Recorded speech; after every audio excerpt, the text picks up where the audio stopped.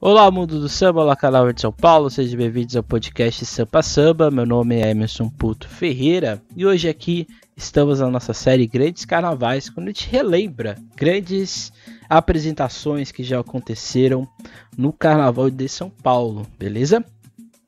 Bem, hoje nós vamos lembrar o Carnaval de 1988, Carnaval em que talvez tenha aí, tal, talvez não, eu acho que é um dos melhores conjuntos de sambas enredos do Carnaval de São Paulo. Aqui a gente tem obras que são históricas dentro de algumas agremiações e outras obras que estão ali, pelo menos ali no seu top 10, com certeza, né? Fácil, eu diria. E até os sambas que não são assim tão espetaculares são bons. Então, em termos auditivos, é um dos melhores anos. Em termos visuais, talvez não seja, mas por um motivo que a gente vai explicar daqui a pouco mas de certa maneira a gente tem aí um bom desempenho das escolas de samba lá na Avenida Tiradentes. Mas antes, não deixe de seguir a SASP nas suas redes sociais, Instagram, Twitter, Facebook. Aqui no YouTube, não deixe de curtir, comentar e principalmente ser inscrito no nosso canal. Sempre é importante. Se você está nas plataformas de áudio, não deixe de curtir, de ali seguir o podcast, seja na Amazon, seja na, no Spotify, Deezer, Google, Apple e outras plataformas. No caso, só tem mais uma que é a Anchor. Não deixe lá de curtir para você ser notificado quando surgir um dos nossos episódios, ok? Então vamos lá, né? Carnaval de 1988, um carnaval que estava ali já na beirada do fim da Avenida Tiradentes. Um carnaval em que não teve aquele luxo como te, houveram em outros anos, mas por um motivo também muito simples, né? Muito claro também. O Carnaval de 88, ele contou aí com 12 agremiações, né? A Flor de Vila da Lila, a Barroca Zona Sul, Águia de Ouro, Acadêmicos do Tucuruvi, Camisa Verde e Branco, Rosas de Ouro, Imperador de Piranga, Vai Vai, Colorado, Nenê de Vila Matilde, Mocidade Alegre e Unidos do Peruche. A Vai Vai era então a campeã do Carnaval de São Paulo, ela tentava ali o seu tricampeonato para 88 no caso.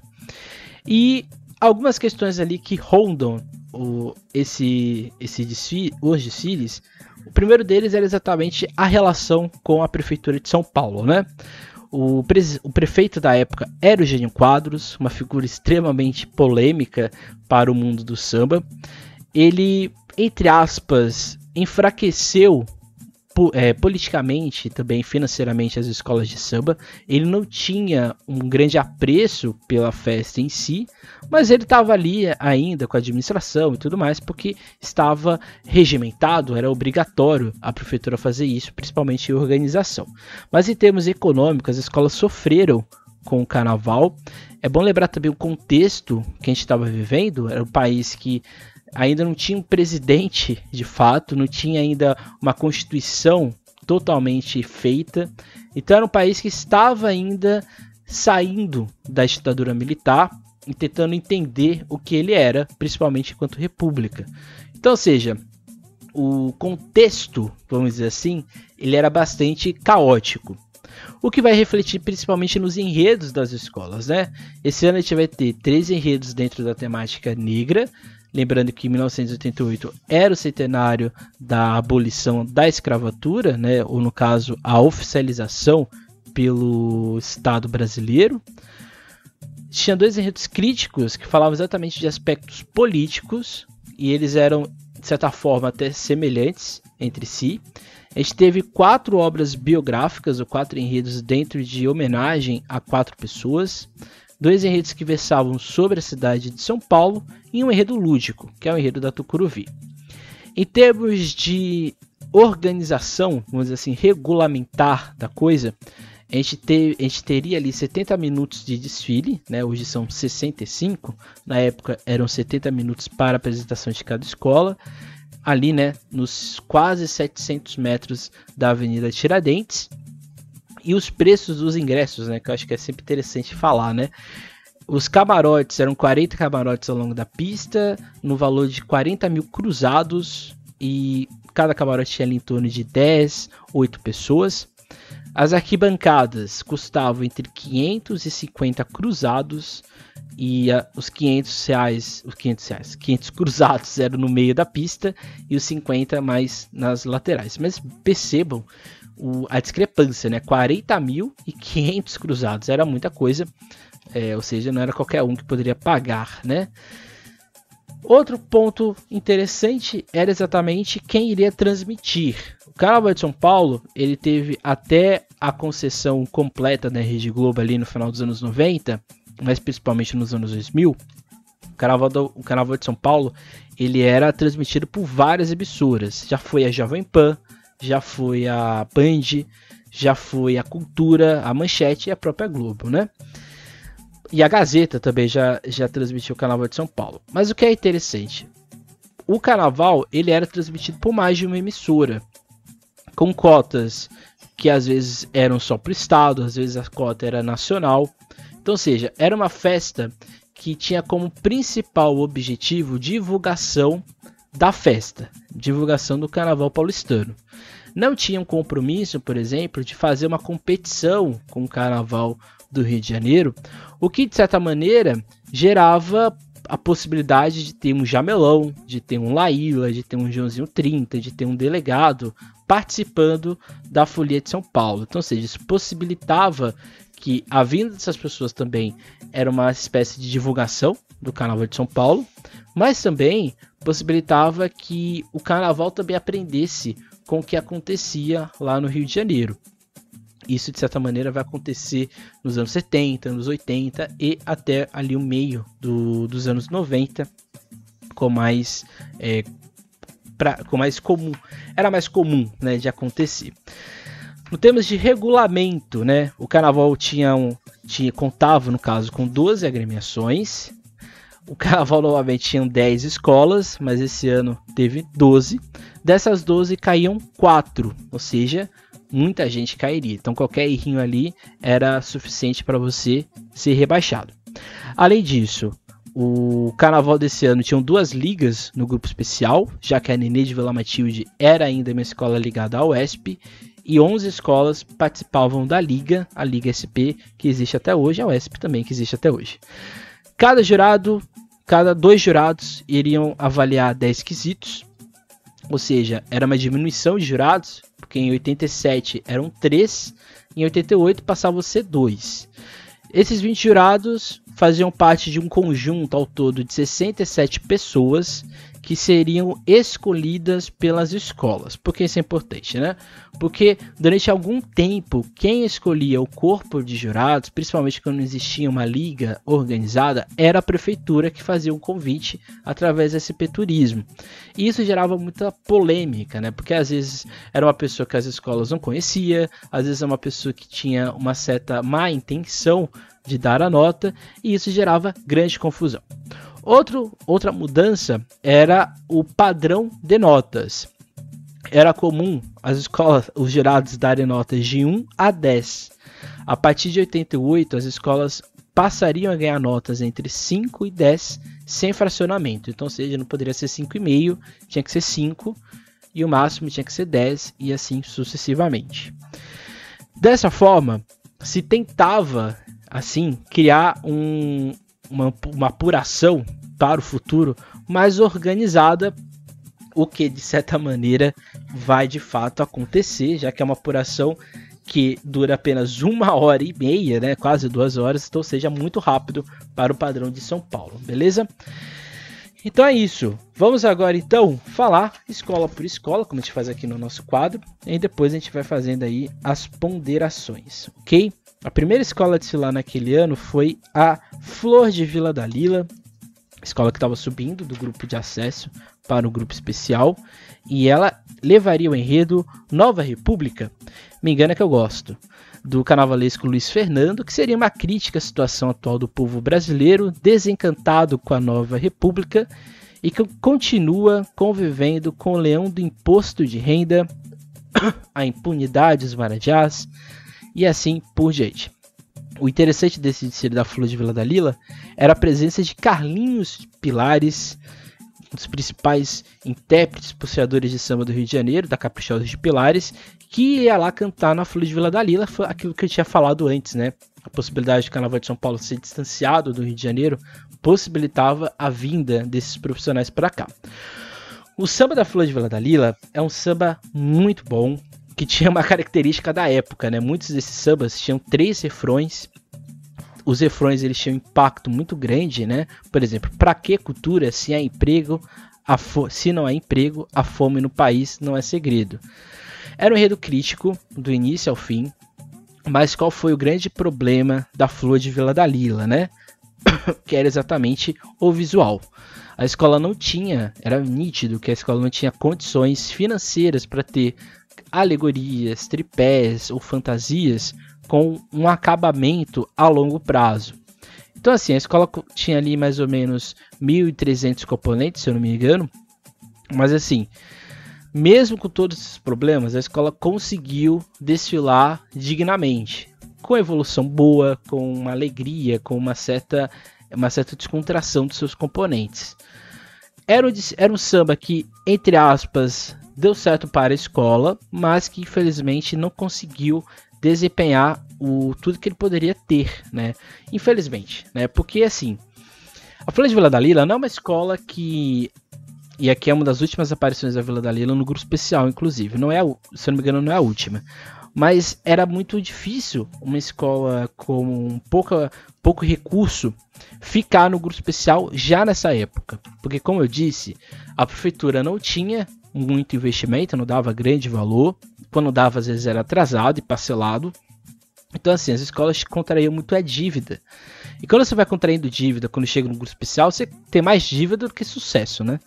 E a escola, de certa forma, vai acumulando essa dívida. E, de certa maneira, a escola não conseguiu desfilar tão bem como ela imaginava. Mas, assim, o samba do Carlinhos de Pilares e do Roberto Laranja é um dos melhores sambas do ano. É um samba estilo cariocado, tenho que admitir. Mas que você entendia o enredo, você entendia ali a proposta crítica que a agremiação tentava fazer. Logo em seguida, era a vez da Barroca Zona Sul, escola que levaria o enredo a novamente, né, no caso, é um, troca, é um trocadilho, né? Novamente, mas pode ser novamente, que era um enredo né, assinado pelos principais carnavalescos da história do carnaval brasileiro, que é o Edson Machado, que no caso o enredo falava-se de uma continuação do enredo do ano passado, enfatizando o papel da escola no primeiro grupo. Fala novamente do negro brasileiro, segundo o carnavalesco, a cada ano mais politizado e consciente de sua condição de negro e sua posição na sociedade. A escola sempre abordou, e aqui, e aqui como diz a matéria da Folha de São Paulo, em seus enredos a história do negro e também este ano lembra os 100 anos da abolição. A escola Verde Rosa é a segunda de Silá, como já disse, que tinha como, por exemplo, seu mestre-sala o mestre Gabi. O que é interessante nesse desfile da Barroca? É um desfile que tem um, uma presença ilustre que é o Pé Rachado. O Pé Rachado, que é fundador da escola, também participou da, de, da consolidação do Vai Vai. Mas o interessante desse enredo é que era um enredo sobre o centenário. E assim, novamente, chover molhado. Samba muito bom. Esse refrão aqui, olha zumbi, colhi o fruto que ele deixou, liberdade a semente diminua novamente, Oxalá iluminou. Três sambas também, só que aqui dois sambas, é, três refrões no caso, e dois, os dois refrões do meio eles se conectam muito bem. Então, ou seja, é um desfile que vai indo, vai se desenvolvendo de forma interessante. O que eu chamo a atenção para quem ainda não viu, veja, o, nesse desfile é exatamente a bateria e o impacto visual que ela dá. O, as fantasias e alegorias são interessantes. A proposta narrativa do Artes Machado é excelente. Para quem não sabe, Artes Machado ele tem história na Portela, Pérez Serrano, União da Ilha, tem história na Nenê de Vila Matilde, na Mocidade Alegre, em outras escolas mais na cidade e na Barroca Zona Sul, onde ele vai fazer um dos últimos, os últimos carnavais da vida dele aqui em São Paulo. E a ideia do enredo era contar a história do negro no mundo, mas com um certo ar de o negro não é só a escravidão. Então esse cara vai falar do continente africano, vai falar do Egito e assim sucessivamente. Não tem um aspecto, por exemplo, de falar só do cultural, só do carnaval e assim por diante, mas de abordar o negro como um agente político e social. Isso o samba, o samba e o Dicílio faz muito bem, mas o grande ponto desse desfile era exatamente, e o negativo, foi como a escola evoluiu. Foi uma evolução um pouco caótica. Outro destaque que eu faço é da porta-bandeira. Teve um momento na apresentação que ela se apresenta com duas bandeiras, a bandeira da escola e uma bandeira branca escrita axé, ou seja, poeticamente falando, é um desfile bacante, é um desfile que tem uma pegada de identidade muito forte com a escola e isso ficou nítido, evidente para quem estava ali no sambódromo. E o samba do Dorinho Marques e do Márcio Madrugada, um dos melhores sambas do ano. Não era ainda, no meu ponto de vista, o melhor samba do ano, mas era um dos melhores sambas que a Barroca levou e era a reestreia da escola, né? A escola que passou ali um tempo como ioiô, mas em 88 ela retornava para, quem sabe, ficar para o grupo especial. Em seguida, no caso, era a vez da Águia de Ouro, escola que nessa época ainda estava em formação, não era a Águia de Ouro que a gente tem aqui hoje, e levaria, e levaria o enredo Sargentelli. Enredo que aborda a trajetória artística de Oswaldo Sargentelli no rádio, na televisão e especialmente no palco, através do show de mulatas que atingiu a sua melhor fase no Oba Oba, no Rio de Janeiro e em São Paulo, e que o tornaram conhecido também no exterior. Desde os tempos de colégio, Sargentelli, influenciado pelo tio Larmartini Babo, organizava festas de carnaval nas quais cantava músicas como Cocorococó, o Galo. Isso aqui eu estou falando da sinopse que a escola é, entregou para o, a imprensa na época, ok? O interessante desse Cidade de Ouro é que não deu muito certo, acho que essa é a verdade. Assim como a Flor de Vila da Lila, ficava também muito nítido na Águia de Ouro que a escola ainda não tinha aquela organização no sentido financeiro, como por exemplo ela vai ter no final dos anos 90 e início dos anos 2000. Era uma escola, portanto, ainda em formação, ela estava ainda se encontrando no Carnaval de São Paulo. O samba não, não me agrada muito, é um samba bom, bem feito, mas eu acho que é um samba ainda, ele, por exemplo, era muito normal em relação aos outros 11 que ele estava concorrendo. Além disso, visualmente o, enredo não deu certo, alegorias, fantasias e principalmente o enredo. Então, ou seja, foi um desfile com muitos problemas, acho que aqui a escola ainda não tinha, um, provavelmente não, não teve condições de levar para frente, mas ficava a sensação de que a escola estava ali. O, interessante é que o Oswaldo Sargentelli ele estava no Ticile, ele participou ali, passava nas aulas, passava nos, nas alegorias, ficou bastante emocionado de ser homenageado por uma escola de samba em São Paulo, né? ele que é carioca. Então, ou seja, foi um enredo que, se não foi marcante pelo visual, marcou de homenagear alguém em vida, que sempre é muito importante, principalmente no carnaval, a gente que trabalha com isso praticamente o ano inteiro. Logo em seguida, veria, ou viria, né, a Acadêmicos do Tucuruvi no enredo mais diferente de todos, né, porque os enredos normalmente eles ficaram muito polarizados né, entre biográficos, negros e São Paulo. Aí quando surge um enredo lúdico, um enredo diferente, né, diferentão, a gente fica até, o público também ficou um pouco impressionado, que era o enredo do Acadêmicos do, do Tucuruvi, intitulado No Mundo da Fantasia Eu Fui Rei por um Dia. Os carnavalescos eram o Rítulo Rômulo Santana e o Carlos da Silva Souza. No caso, o enredo falaria sobre um rei da alegria, cansado das coisas que o cercavam, resolveu fazer uma longa e fantástica viagem em busca das emoções. E encontrou pelo caminho um dragão, as três cabeças, fadas, anjo de asas, douradas e também uma malvada bruxa que aterrorizava o príncipe e a princesa. E completando, diz o seguinte: ao regressar da viagem, o rei da alegria é aclamado por seus súditos por ter sido por um dia o rei da fantasia. Mas o interessante, quando a gente vê o Tsiri, e a gente olha o, o, samba, a gente percebe que tem ali uma pegada de duplo sentido. Os dois carnavalescos contam isso na matéria, é, que no caso, né? Quando você ouvir, por exemplo, o refrão, né? Pode entrar no meu caro, pode entrar, meu caro rei, venha ver as maravilhas passando pelos portais do mundo da fantasia, samba composto pelo Pichuca e o Ló do Cavaco. E, por exemplo, esse outro refrão, né? Toda minha alegria, a bruxa não vai parar, vou ver Netuno no reino do mar. Você vai ouvindo samba, você vai vendo Tsiri, você vai percebendo que tem ali também uma dupla ironia, um duplo, uma dupla mensagem, que é exatamente, não é só um rei que está que, querendo se redescobrir, viver uma nova fantasia, mas principalmente era esse rei, que talvez poderia ser eu, você na época, tentando encontrar novos rumos nesse país desgovernado que era o Brasil na década de 80. Então, ou seja, a Tucuruvi fazia um enredo que era a cara dela na época. A Tucuruvi ali nos anos 80 e 90 tinha como características enredos leves, alegres, às vezes até debochados. Mas que a escola, não sei porquê, perdeu ao longo do tempo. Seria interessante a Tucuruvi voltar a fazer esses enredos, que era a escola se dá bem. É uma escola bem leve, é uma escola bem familiar. E esse tipo de proposta dava muito certo. O Esse Lúdico, portanto, ele tinha um ar de criticidade, mas dentro de uma realidade fantasiosa. O visual não foi dos melhores, mas em compensação, a, por exemplo, a Flor de Vila Dalila e a Águia de Ouro estava muito melhor.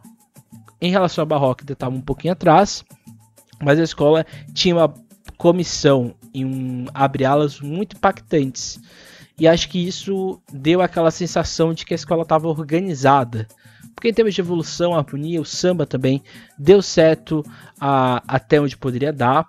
O samba da Águia de Ouro e o samba da Tucuruvi, eles são bonitos, mas eles não são necessariamente oba-oba, né? eles não são tão para frente, eles são calmos demais. Então isso, de certa maneira, para a Tucuruvi deu certo, para a Águia de Ouro não tinha dado muito certo, então ficava aí a sensação do que a gente viria ali pela frente. Em seguida, era a vez da agremiação, no caso, que era a Camisa Verde e Branco, uma das principais escolas de samba da cidade, que levaria o enredo sobre a cidade de São Paulo, sobre a noite paulistana, no samba composto por Valmir, Zelão, Adalberto e Carlinhos. O enredo da camisa verde e branco, eu estou aqui falando pausadamente porque eu tô com uma vontade tão grande de torcer, de tossir, que tá assim. Pronto, soltei isso que estava dentro de mim. O enredo da camisa era Boa Noite São Paulo, de Ronaldo de Souza e José das Flores, dois carnavalescos, e mostra São Paulo da boemia, da garoa, dos restaurantes, das conversas de bar e até de bancas de frutas tropicais, de bar até de bancas de frutas e no caso, no caso também a realidade da escola, né, a Barra Funda e assim por diante. Além do lazer, o enredo também envolve o trabalho à noite na cidade, do samba enredo, um dos principais sambas da história do Camisa Verde e Branco. Eu acho que esse é o melhor samba do ano, junto com o do Vai Vai. O que esses três refrões fazem, né? O que o meio do samba também faz. A primeira parte ali que você tá ali indo pra noite, né? Você fica até animado cantando, e no final é uma poesia um pouco mais reflexiva, um pouco mais calma. É um, é um samba muito constru bem construído. É um desfile espetacular. Evolução, visual, musical, todos os três módulos do Camisa Verde e Branco funcionam muito bem nessa apresentação da escola. E assim, era o auge da competição, auge competitivo do Camisa Verde como escola de samba. Porque a gente sabe que infelizmente a escola passa por períodos que não são dos mais, é, hoje, principalmente atualmente, dos melhores. Mas de certa maneira, a camisa verde branco na década de 80, ela era e 70, ela era imbatível. Ela rivalizava com todas as escolas possíveis. O enredo, ele era simples, mas ele era de fácil identificação, seja pelo visual, seja pelo samba, seja pela bateria, pela composição dos componentes. E o samba em si ele era meio que uma metáfora do momento, né? Porque o carnaval ele é de noite. E as escolas se apresentam de noite, então, de certa maneira, estavam se falando ali de si também no, ao longo de toda a apresentação da escola. Então, assim, o Camisa ele saía da avenida muito favorito a vencer o carnaval. O que nos vai chegar também a uma outra favorita que era a Rosa de Ouro, escola que viria com o enredo sobre Cavalho de Lei, Cavalho Madeira de Lei, no caso aqui, de autoria do Edmundo Basílio, o carnavalesco. O enredo baseia-se na história do rádio, destacando o trabalho desenvolvido pela Rádio Record, que logo após a sua fundação em 31, com programas ao vivo, empenhou-se na divulgação do Carnaval do Rio de São Paulo. Estamos falando, portanto, de Paulo Machado de Cavalho, cujo nome foi batizado o Estádio Municipal do Pacaembu na década de 60. Graças à sua atuação na área esportiva, é o principal responsável por esse trabalho. No samba, nos casos no samba enredo, ele é composto pelo Valder Cambalhota e o Giba Franja. É um samba que quando, quando você ouve ele na gravação, você não dá muita coisa para ele. Mas o modo como ele foi apresentado dentro da avenida deu certo. O samba ele é bem composto, ele é bem amarrado, ele é bem juntado. Novamente, três refrões dentro da apresentação. E assim, se a gente olha o aspecto visual, é talvez um dos melhores desfiles do ano entre as 12.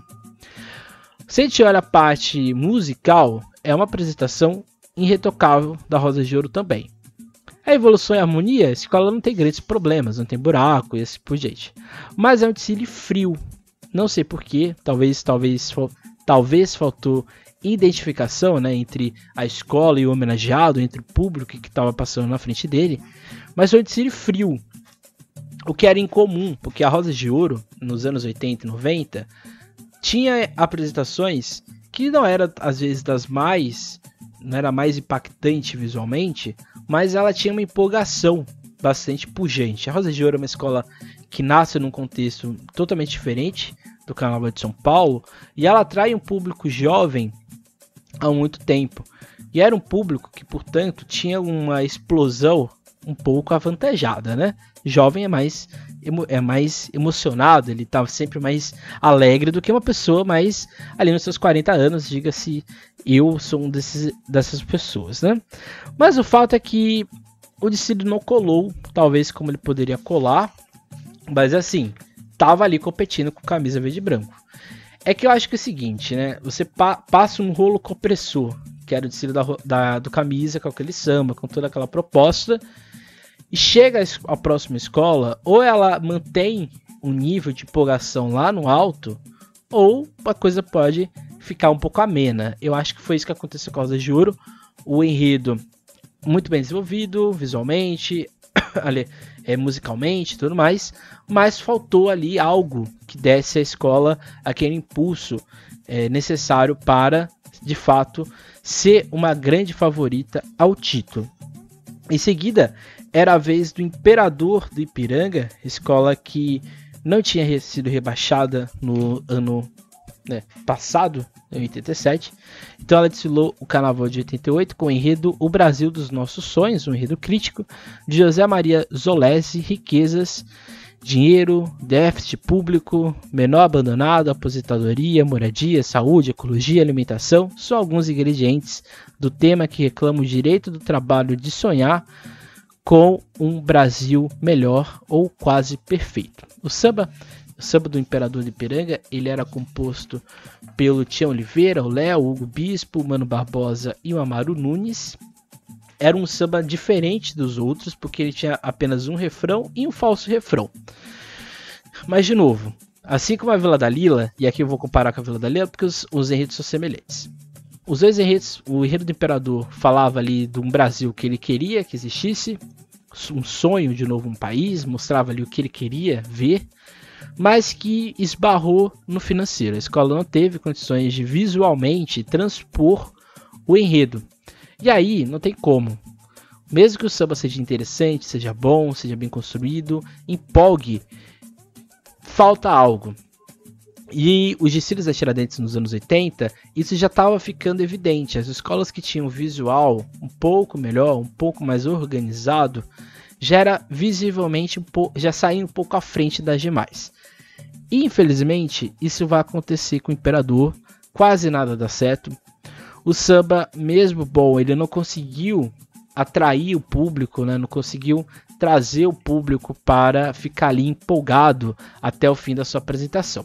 A escola talvez saiu daquele ano com a sensação de que a permanência hum, seria complicado porque caíram quatro, então, seja, tava ali brigando com Colorado, Colorado com Águia, com Flor de Vila da Lila, para Tucuruvi, talvez, não sei, para ficar no grupo especial.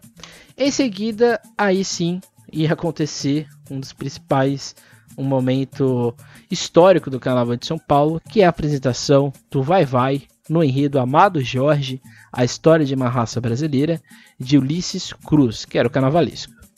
Os senhores da abolição da escravatura inspiram a Vai Vai a mostrar a saga da raça negra vista através da pena de Jorge Amado, baiano bom, brasileiro, consciente, sensibilidade universal. O enredo é centralizado no livro Tenda dos Milagres e a bicampeã de 87, portanto, vinha ali com um samba histórico composto por Oswaldinho da, da Cuica, o Namur e o Macalé do Cavaco. O grande destaque no desfile do Vai Vai é, eu acho que não é nem o enredo em si, mas é a parte musical da escola, né? O samba era um samba simples, com um refrão simples, né? Olha a folha da mangueira, aê Bahia. Quando venta, cai no chão, aê Bahia. Uma coisa simples, mas que quando chegou no sambódromo, derrubou a avenida, derrubou as estruturas da Avenida Tiradentes. Se pudesse, acho que até interditaria pelo balanço da vibração do público, até mesmo o metrô que estava ali passando embaixo. Esse samba é histórico. É um dos melhores sambas do Vai Vai, um dos melhores sambas do Carnaval de São Paulo de todos os tempos.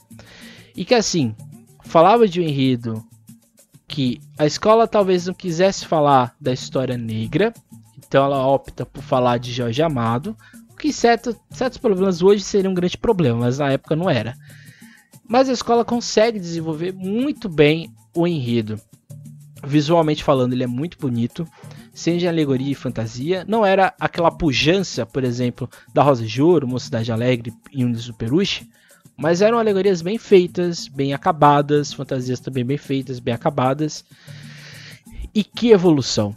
Que evolução, que harmonia, que perfeição! Tudo que aconteceu nesse desfile de 88 é assim magistral. Quando a gente fala, né, a Vai Vai, uma potência, aquela escola e tudo mais, escola do povo, é esse desfile que traduz isso.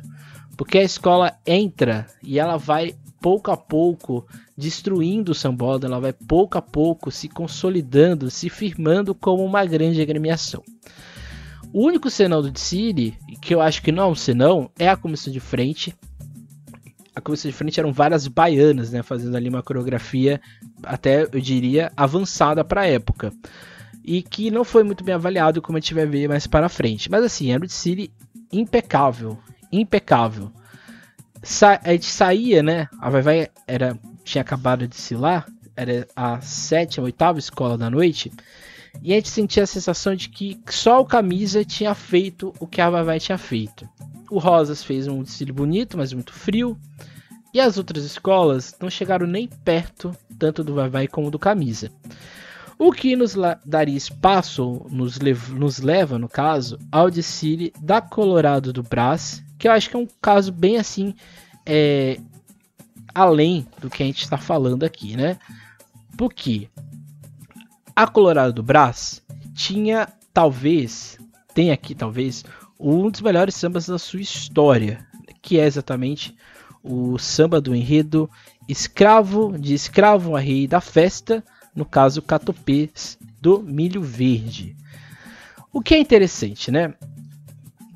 O samba interpretado, composto por Domaco, Sorná Gonzaguinha, Edinho, Xixminho, o samba era muito bom, mas por algum motivo ele não consegue se desempenhar tão bem na avenida nesse refrão, né?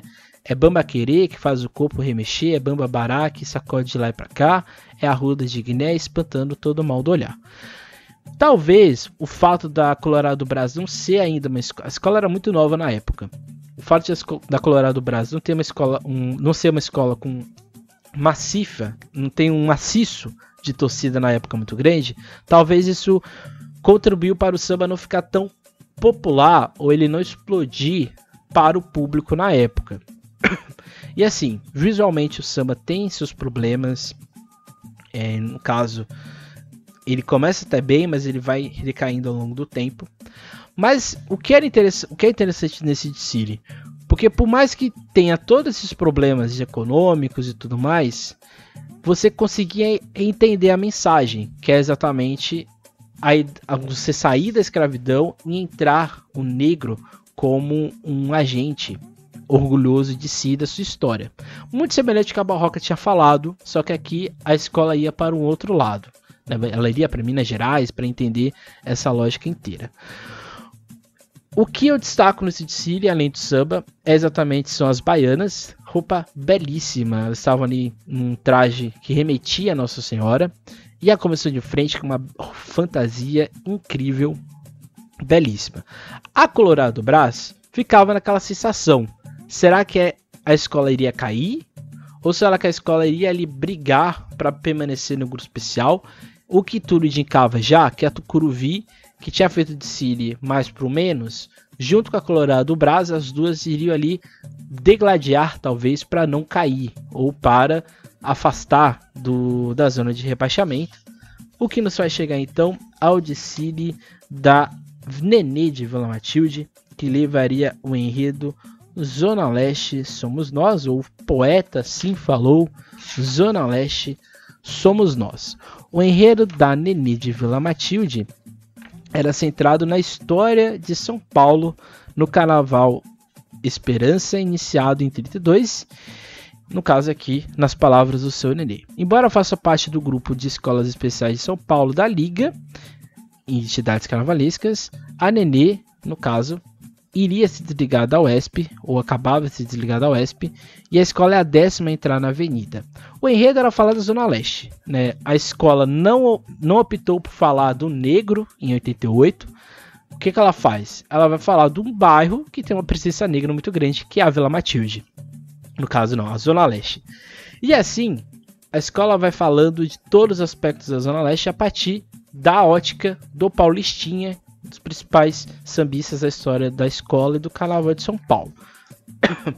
Outro samba incrível, só que aqui é composto por uma pessoa, que é o Marco Antônio, que tinha composto o samba de 85, que tinha vencido na escola.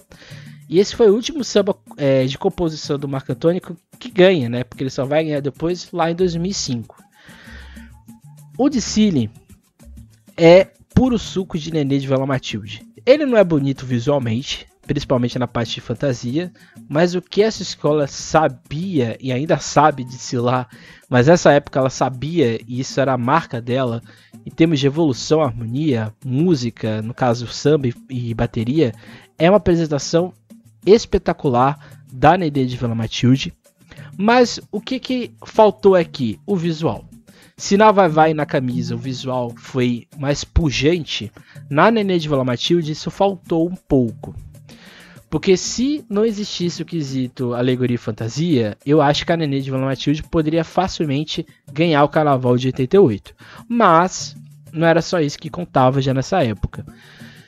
Era semelhante ao que tinha acontecido com a Rosas de Ouro. Porque se na Rosas de Ouro faltou a empolgação, aqui na Nenê faltou o visual. Se juntassem as duas, seriam de desfile ideal para o ano de 88 e assim a Nenê iria para a apuração com aquela sensação, né, de talvez dá para ganhar se o Giraldo ali viu alguma coisa de errado na Vai Vai ou no Camisa Verde Branco.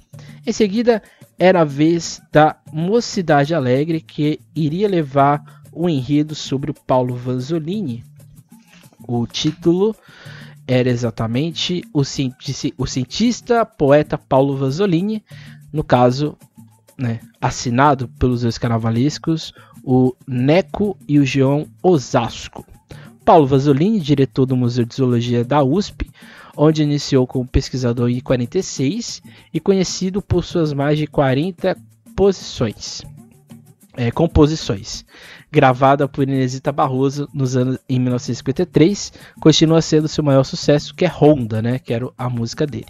É homenageado no samba que fala da sua infância, do seu interesse pelos répteis e pelas situações reais que inspiram a sua música. O samba da Mocidade Alegre ele era composto pelo Roberto da Tijuca, Nenê Capitão e o Wagner do Cavaco. É um samba que no, no dia deu muito certo. A escola cantou assim, do início ao fim. Em termos musicais, bateria impecável, visual impecável, tudo impecável. Desfile arrebatador. O Paulo Vasolini estava na apresentação, se emocionou, chorou.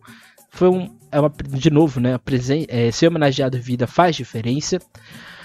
Mas o que, que aconteceu aqui? Eu acho que é o que pode ter sido o calcanhar de Aquiles na mocidade, que é o samba. O samba não, não aconteceu, talvez como a escola é, esperava.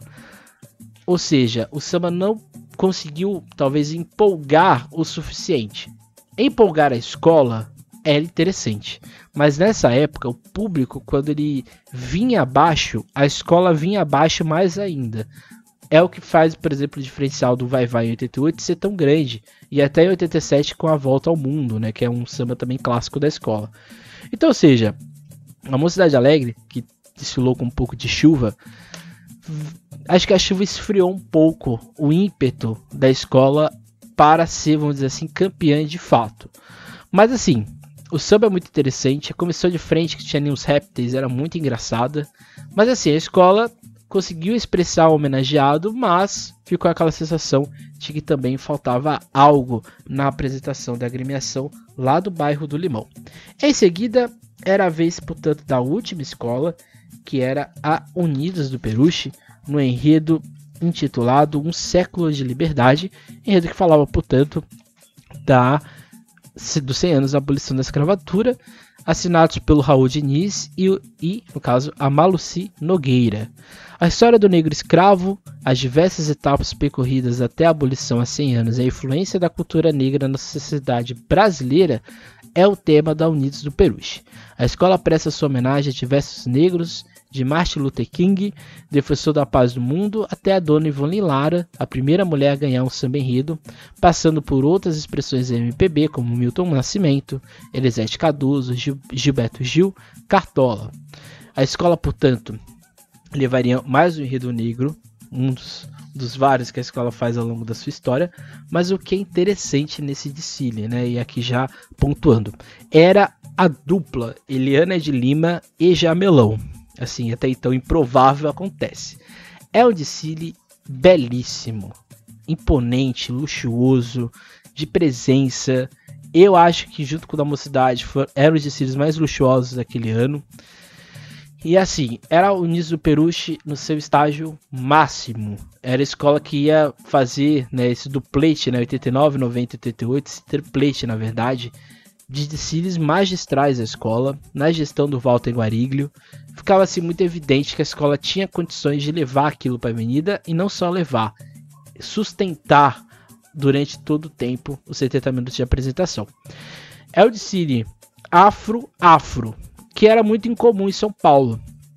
Em São Paulo, os enredos afro, eles não conseguiam ter o impacto visual como tinha, por exemplo, os enredos negros no Rio de Janeiro.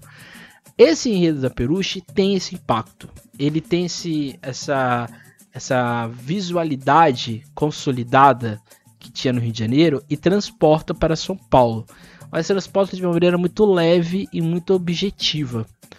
A organização, né, a gestão do Walter Guariglio, que era o presidente da Unidos de Peruche, facilitava isso, porque a escola de fato era muito bem administrada e isso refletia em todos os quadros da escola. Por exemplo, na, na escolha de samba no modo como os intérpretes interpretavam, na questão visual dos componentes, casal, mestre sala e porta-bandeira e começou de frente. Então, ou seja, o samba composto pelo Joquinho e o Benê deu muito certo. O refrão do Atotô Baluaê é um clássico da história do carnaval. E assim, era um jamelão que tinha aquela voz rouca dele, com aquela voz estridente, né, marcante da Eliana de Lima, que faz assim uma apresentação clássica no carnaval é, de São Paulo. O que nos vai chegar então a apuração. A apuração, como eu já disse, contavam ali com 20 jurados E, portanto, cada, é, com 20 jurados, dois para cada quesito. O primeiro quesito a ser lido era o quesito enredo, aí depois letra, letra do samba, né? Melodia, comissão de frente, harmonia, evolução, fantasia, mestre sala e porta-bandeira, alegoria e, por último, o quesito bateria. Eu chamo a atenção que é o número de 10, né? Aqui a gente tem, ao todo, algo, é, a gente tem algo, claramente tem muitos 10, mas se a gente for comparar com o que a gente tem hoje, é quase improvável, né? Você tem ali, por exemplo, escolas que só tem dois 10 ou 5 10 ao longo da sua apresentação. O jurado que vai fazer de fato diferença é o jurado de enredo imediato, o LF imediato. Por quê, né? Ele não dá 10 para ninguém. E ele vai dar a menor nota da apuração, que é um 5 para a Águia de Ouro. E ele vai distribuir 6 para a Flor de Vila da Lila e 6 para o Peruche. Não sei por que ele deu 6 para o Peruche. Não me perguntam. Mas esse 6 para o Peruche acabou com qualquer pretensão da escola ser campeã. Esse 6 para o Colorado também vai fazer muita diferença para a escola. Então, seja, um jurado, ele não sei se ele teve essa intencionalidade, mas ele indiretamente prejudicou muitas agremiações com as notas dadas e eu coloco para vocês na, notas dadas sem critério, porque assim, se a gente pega outro gerado, que é a Soraya Moura, ela dá 5 notas 10, mas ela não vai dar nenhuma nota tão baixa ao ponto de influenciar o depois, né? Que é uma questão que a gente tem hoje, né? O jurado, ele não está ali para punir uma escola, ele está ali para avaliar aquela agremiação. Então, ou seja, se eu vi que aquela escola foi ruim, não é, não é porque ela foi ruim que eu tenho que dar a menor nota, que é 5. Eu tenho que ver, a partir do que está sendo mostrado para mim, se o entendimento está interessante. Por isso que é interessante a nota comparativa, porque assim eu comparo para ver quem está melhor e quem está pior. E no caso do quesito enredo, a gente tem a maior discrepância de notas entre um jurado e o outro. E aí, meus amigos, vai influenciar todo o resto, né? Quem fica o último naquele ano é a Flor de Vila da Lila, com 157 pontos. De fato, foi o desfile mais fraco do ano. Em seguida, o Imperador, também concordo, acho que foi também um, um dos desfiles mais fracos, com 165. E aí, e aí vem a questão, né? Se lembra daquele jurado que deu nota 5 para a Águia de Ouro? Pois bem, a Águia de Ouro fica na, no caso aqui, na décima colocação por causa de um ponto, ou no caso, dois pontos, né? Mas no caso ela ficou com 167. Se esse jurado aqui tivesse dado para a Águia de Ouro 8, por exemplo, e se ele tivesse sido coerente com as notas aqui e não se punição, né, não punir as agremiações, a Águia, a de Ouro poderia ter se sobrevivido, ela poderia ter ficado no grupo especial, porque ela ficou um ponto atrás da Colorado da Tucuruvi. Lembra do jurado que deu nota 6 para Colorado do Brás? Pois bem, se ele tivesse dado ali nota 7, ou no caso nota 8, mas por exemplo, se ele tivesse dado nota 7, se ele, jurou, se ele viu que a nota foi ruim, a escola foi ruim, poderia dar ali um 7, não um 6, se ele fosse coerente, né? Já deu pra perceber que tô com o ranço desse moço, né? Coisa aconteceu há muito tempo, mas o ranço aqui tá instalado. Mas percebam que se ele tivesse dado 7, no caso, a Colorado poderia estar à frente da Tucuruvi no desempate. O que desempatou aqui a Tucuruvi foi a nota de bateria, né? Já que ela tira uma nota 9 e assim ela ficou à frente da Colorado do Brás na oitava colocação. Então as quatro escolas que caíam era a Colorado do Brás, a Águia de Ouro, Imperador e a Flor de Vila da Lila. No meu ponto de vista, eu acho que a Colorado poderia ter ficado no lugar da Tucuruvi. Mas a Tucuruvi ter ficado à frente da Colorado também não é nenhum problema. Eu acho que quando a gente percebe, vê friamente, quesito por quesito, tanto a Colorado como a Tucuruvi tiveram problemas mas talvez o Cílio da Tucuruvi teve problemas não tão evidentes como foi, foram no Colorado. Mas se a, esse jurado em específico, né, que é o LF imediato de enredo, fosse um pouco mais condizente com o cargo dele, talvez a situação teria sido um pouco mais diferente. Na sétima colocação veio a Barroca Zona Sul, que foi aquele desfile que ficou ali no meio. Não era um desfile tão ruim, mas também não era um desfile tão bom ao ponto da escola brigar pela primeira colocação, o que, portanto, faz a escola ficar na sétima colocação. Lembrando que a Barroca tinha acabado de subir, então, assim, ficar nesse meio, até de certa maneira, era um bom resultado. Na sexta colocação era a vez da Rosa de Ouro. E assim, a Rosa de Ouro tirou, ficou com 186. Mas percebo que a nota 7 dada pelo LF imediato faz com que a escola fique bem atrás das demais. Portanto, ela fica na sexta colocação, que eu acho que é uma colocação justa. Eu acho que Rosas Barroca tem a colocação que eu acho que elas deveriam ficar. Como eu disse, o, a parte musical da, da Rosa de Ouro na musical não, a parte visual da Rosa de Ouro dá um problema, né? Que a escola tira 8 e 9 em fantasia e a mesma nota se repete em alegoria, e é isso aqui que derruba a escola, além da nota 7 em enredo. Na quinta colocação ficou o Unidos do Peruche, e aqui aqui é evidente, tá, gente? A Peruche, ela tira 8 ela tira notas abaixo de 10, né? Ela tem um 8 tirado em letra de samba, 9 de melodia, 9 de começo de frente, 9 em fantasia, 9 em mestre sala e porta-bandeira. Mas se ela não tira, tivesse tirado 6 em enredo, nota dada pelo aquele jurado em específico, a escola poderia ter ficado, por exemplo, à frente da Nenê de Vila Matilde, que eu acho que era mais justo. Eu acho que embora a Nenê, que ficou ali na quarta colocação, tenha tido um desfile bom, eu acho que a Peruche foi um pouco melhor. E assim, de novo, é um jurado, deu uma nota ali desproporcional, dá um 6 em Enredo para do Peruche. Não sei o que ele não entendeu, mas ele deu nota 6. E assim a escola foi totalmente prejudicada no resultado final. E assim, a nota de enredo deu problema na apuração, né? porque todo mundo reclamou, como conta o Estado e a Folha de São Paulo na sua apuração. Em terceiro lugar ficou a Mocidade Alegre, empatada com a camisa verde e branca, que ficou na segunda colocação. O critério de desempate aqui foi o quesito A, é, no caso aqui, foi o quesito bateria, se eu não me engano. Né, a, a, não, não foi bateria. Não lembro qual foi aqui o quesito de desempate. Mas as escolas empataram na segunda colocação. E assim, a grande campeã daquele ano foi a Vai Vai, que tirou apenas 4 notas abaixo de 10. Uma nota 9 dada pelo aquele jurado de enredo o 9 dado é, em letra do samba e duas notas abaixo de 10, que é o único quesito que a escola não tirou nenhum 10, que é a comissão de frente. Talvez os jurados não entenderam a proposta da escola. Acho que 88 é um ano em que a gente tem bons desfiles de escola de samba em São Paulo. É um ano que bons sambas, um público interagindo com o que estava acontecendo. E assim, né? Quando a gente fala de grandes carnavais, grandes carnavais não são necessariamente carnavais que tenha belos bonecões, bonecões neões de São, neon de São Paulo, ou aquelas escolas que tem fantasias de veludo, fantasias que parece que o componente nem tá, você nem consegue ver ele de tanta coisa que tem em cima dele. Isso não necessariamente é um bom desfile. Acho que desfile, quando a gente olha um grande carnaval, está analisando o contexto.